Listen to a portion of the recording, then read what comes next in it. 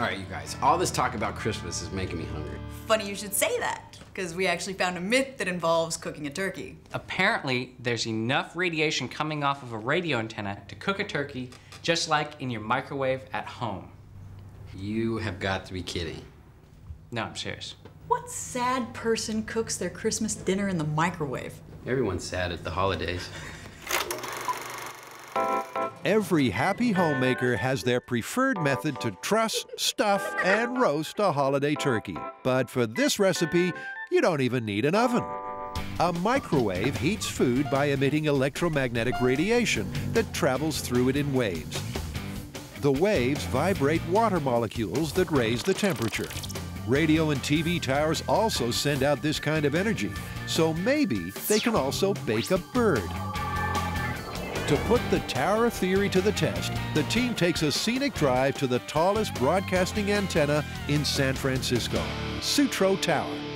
At 977 feet, it's going to be a long climb to bake their bird, but the view should be spectacular. How you doing? I'm good. How are you? I'm Tory. Hi, Tory. Turkey and industrial tape in hand, the team meets General Manager Gene Zastro. So, Gene, what we want to find out is whether microwave energy can cook a turkey. So what do you think of us jumping up there and taping a turkey to it just to check? I don't think that's possible. No, permission is denied. And Gene can't be sweet talked. but what if I said pretty please with sugar on top? Mm, no with sugar on top. No, no, no, no, no, no. It really is too dangerous to go up there with the antennas active. Hey guys, maybe the warning signs strung up all over the site should have been a clue. So does Gene think the TV tower cooking method would have even worked? Microwave transmitters that the stations use are very low power. They're in the neighborhood of a, a couple of watts, as opposed to a microwave oven, which is, you know, seven, 800, even up to 1200 watts of power. Plus, it's very confined. Looks like this myth may be plucked. So now what? I think we might have to resort to another plan. Okay. Another plan? Now that's a plan. How about a broadcast news van? You gonna let us try to cook a turkey on top of your van? Yeah, sure, why not? That's how I warm up my coffee. ENG vans use microwave signals to send images on location back to the studio. Video journalist Yoli shows Tory how the beam is sent out.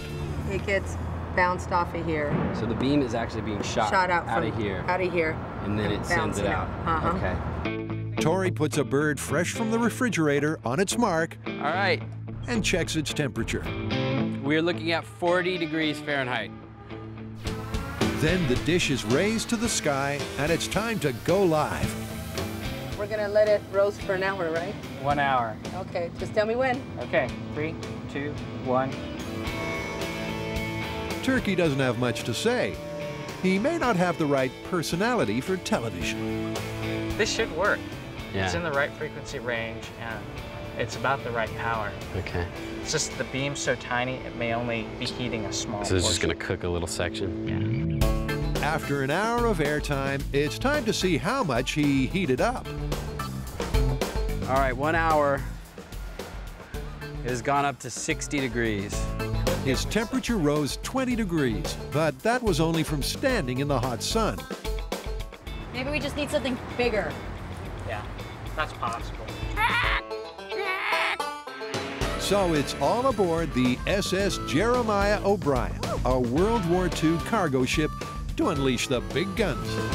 Boy, Welcome aboard. I'm Pat Maloney. Kari. How you doing? I'm Tory. Tory. Nice to welcome meet aboard. you. Steady. Steady on that. I don't have my sea legs yet. Captain Maloney is letting our Mythbuster landlubbers try to fry on the ship's radar. Radars are another device that emit electromagnetic radiation. so have you ever heard the myth that you can cook your turkey on the radar of your ship? I haven't heard about cooking turkeys. There's risk of sterilization. Putting his fertility fears aside, Tory secures the bird to the antenna so it doesn't fly off. That should hold.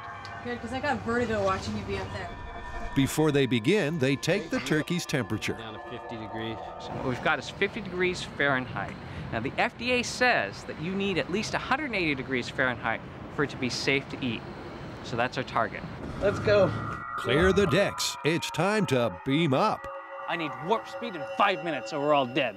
I can't do it! I can't do it, Captain. Captain Maloney fires up the radar, Okay, we're transmitting. and our turkey soars like an eagle. Whoa, that's kind of faster than I thought. that thing's spinning pretty fast. Okay. is so funny looking. Should we all be wearing our lead aprons? It looks bird brained, but the waves passing through the turkey might be powerful enough to cook its goose. Yeah, I think that steel plate in my head's starting to warm up. Our radar spit roast is attracting a lot of attention. I sure hope that's not the Coast Guard. And the sea air is making Tory feel like king of the world. Remember that scene in Titanic? When they're like sitting on the ship looking out at sea. With a turkey? I don't think there was a turkey in that movie. The turkey's been spinning for an hour. Plenty of time for our camera person to get all artistic and for our bird to get nice and toasty. I'm ready for a hot turkey sandwich. So, how hot did it get on the inside? Oh, this looking ripe. Ripe as in cooked or ripe as in? Ripe as in nasty. What do we got? Are you kidding me? What is it? The temperature went down. Only on Mythbusters. It's 45 degrees. The turkey is colder than it was before it went up. Maybe you hit a giblet. There you go. 47 degrees. The wind chill is actually making this turkey colder. A radar and broadcast dish are bigger than a microwave, but they don't put out the right wavelengths to burn a bird. Also, there's no confined space to keep the energy in. This one's definitely busted.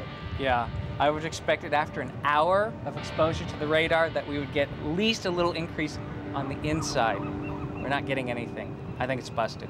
It's actually working better as a refrigeration system than actually cooking the turkey. Great, busted. Cut her down. The myth's done, but not the turkey. Nice catch. For a little fun and to release some frustration, Tory has prepared a bird with his own recipe we cannot reveal. This is Mythbusters, and we haven't had an explosion. So I've mixed up a little special stuffing, and hopefully, with this turkey, we'll get some results. Wouldn't be Christmas without an explosion. He places it in the microwave. They seal it up to lock in all its goodness, There you go. Ah, run. And the whole team waits in hungry anticipation. I don't know what's gonna happen. In no time at all, the turkey is done.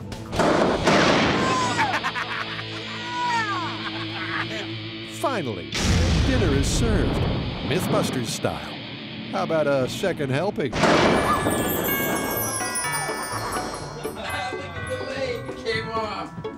Oh, Merry Christmas, you guys. That is the uh. most disgusting turkey I've ever seen. Hmm, let's eat.